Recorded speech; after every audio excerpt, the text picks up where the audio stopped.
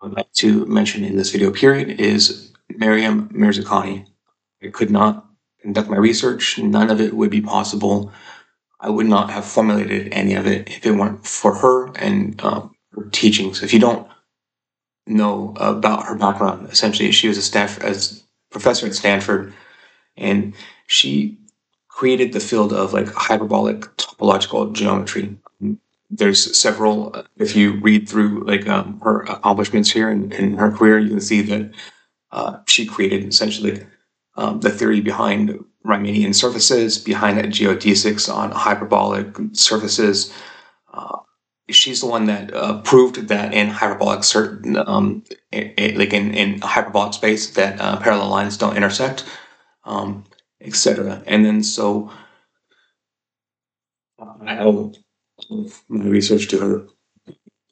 With that we come to uh, essentially what i have created here. Um, and and again like this is uh, completely building on Maryam Mirzakhani's research. Like I, I am a million percent positive she would have discovered this and, and proven these things out before me because it's just it's it's her research. Like um uh, so she proves that uh, within hyperbolic spaces and within topological spaces that there's there's shape that exists uh, and then I just take those same experiments and then I prove that uh, these models are learning on abstractions as people are pointing out more and more as I've pointed out more and more on my channel. And then so those abstractions exist in hyperbolic spaces and the models are using shape in order to change and, and uh, reshape the the shape is my it's been my hypothesis for a long time right it's been a lot of people's hypothesis for a long time the problem is, is that you can't get um, a model to converge, like, even if you just know that information, right? I can detect the shape. I can I can do all different kinds of things with the shape, but the one thing that has evaded me up until now is getting it to uh, build out a model that can fully take advantage of that with 100% accuracy. Um, get it to converge in every single way possible. Uh, if, to do that would be uh, essentially proving out that um, the abstraction equals the non-abstraction, right? Um, which is like um, very significant within this. And then so uh, here is uh, essentially my on this. So what I have done um, in, this particular instance is uh, I essentially just built a model built off of swarm algorithms, and every single swarm agent is a different type of a sensor.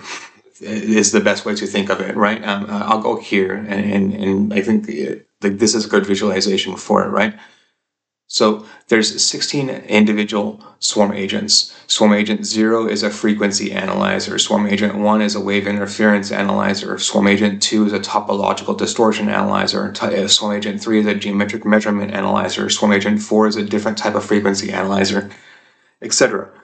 And they go through and they measure different measurements. Uh, in this instance, I give them uh, in, in the environment a shape, uh, which is so uh, we create a structure which uh, with a complexity of 0.70, a frequency of 0.20, and a density of 3.0. And then we essentially we have the agents go through and measure and classify the shape. Uh, what I do uniquely within this is so this is built off of my Swarm Queen optimization. So these agents they go through and they detect the shape, and then the Swarm Queen, who's like kind of the brain of the operations, is then trained on all of this different data. So all of these individual agents operate individually, and then they send all of this information back to the brain, the, the queen. And then the queen then takes this and then it adjusts the its confidence in the different um, agents based off of this information. So you can see that after the first test, it moves its confidence in the frequency analyzer down. It adjusts its confidence the, the uh, wave interference way up, agent way up, topological distortion, it moves it up, uh, and then geometric measure, uh, measurement, it moves it way down. And so, like, we can see that uh, as it goes through, it does further adjustments for these weights um, and, and its confidence in the di- different individual agents as it goes through. And then our end result is something like this where um, it has essentially decided that it really, really likes uh, wave interference. It really likes the initial measurements of a geometric measurement, but then it pushes down the, the confidence level past that. Um, and then it pushes up over time the frequency analyzer. Um, and then so what we can see, it reflects on a, mo- a final model convergence of 99.75 which is uh, as close to one as you could get. If it were 1.0, there might be probably something wrong with this. So the fact that it's uh, converging so close to 1.0 and not exactly 1.000 across the board is extremely significant here. Um, it discounts error.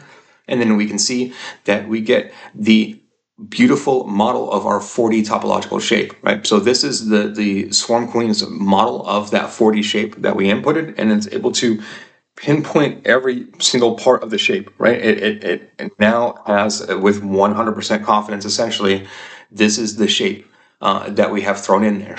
and then so uh, from this, this is essentially um, meta learning, learning to learn, etc. Right? Um, and then there's going to be people that will say that there's a differentiation between this and the human process of learning. That there's a, a um, uh, an additional step in between this and reasoning thought. Uh, I would challenge those people where does that additional step exist um, within this process? like, uh, this process seems to me to be very straightforward into um, how it works. It's based off of uh, compression mechanics. Uh, and uh, manifolds and compression manifolds, and essentially all of these things that, that are occurring within um, this digital space that we're looking at here. My hypothesis is, is that these are the same processes that occur within your brain within anything overall um, that is uh, considered and deemed um, intelligence. That what we were looking at here um, is kind of the basis uh, uh overall of what um, intelligence is. Um, and that it utilizes uh, shape and um, in this instance shape in hyperbolic environments in order to uh, converge and be able to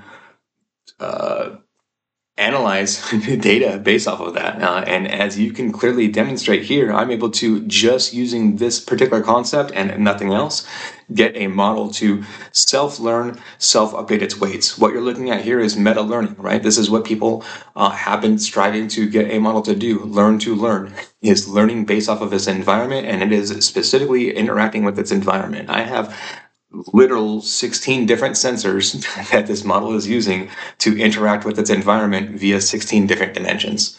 Uh, like this model is interacting with its environment more than you do. And so, um, based off of that information, it's able to push and, and piece all of this together. Um, and then, so last part of this, uh, Harmonic Swarm Intelligence is available. Here's the GitHub repository. It's all open source, MIT licensed. Uh, here's everything that it does. Uh, all of the key features. Again, it's a multisensory swarm agents. It utilizes acoustic intelligence. So that to me, that's the missing element within this, right? What's what's missing is I put all of this together, uh, and then I put ge- like geometry plus wave resonance uh, plus uh, location is the, the end result, like the one that I was missing for me, right? Um, and then so I put all of that together, and then it, it ends up uh, being in a nice package where everything converges. We get meta learning and adaptation from it. They explore the hyperdimensional spaces in order to do it, and this is all scalable and open source, 100% free and available to use. Um, so this is uh, here it is. This is like um, I, a lot of areas that people have been looking for, um, both uh, like scientifically and philosophically. Um, I, here it is. I, if I wasn't witnessing it with my own eyes, I wouldn't believe it myself. Um, but so here you go. Here's the Colab notebook. Do whatever you like with all of this, right? So uh, here you go. Um, there's uh, the models are learning off of shape. They take the topological shape and they restructure those shapes. Uh, and then you can interact and, and, utilize models like Swarm Intelligence to uh, better interact with these shapes. And then, uh, so I guess the last thing that I'll leave you with is that so this Swarm Intelligence model could run on a calculator. Um, and then if you optimized it, I would flat out imagine that this model would clock like uh, any like LM model that currently exists with anything like any task that you wanted to throw it at. Let's let's say that you like your next step was like, hey, let's perform like benchmark this versus um, LLM model X on Y task, I can get this to outperform it. I like I guarantee you from these metrics that we're seeing here. Um, and then so uh, and again, it, like the compute necessary that I would need in order to outperform it would be a calculator. So significant step forward in progress there, right? It's uh, the uh, Sam Altman dream that it's uh, all just brute force compute uh, is a lie, and we know it's a lie because your brain, right? All I have to do is look at the human brain to know that that um, hype train isn't reality. Um, and then so here we go, one step closer to reality as opposed to um, fake reality. And then so if you like this type of content, please like and subscribe. Thank you very much.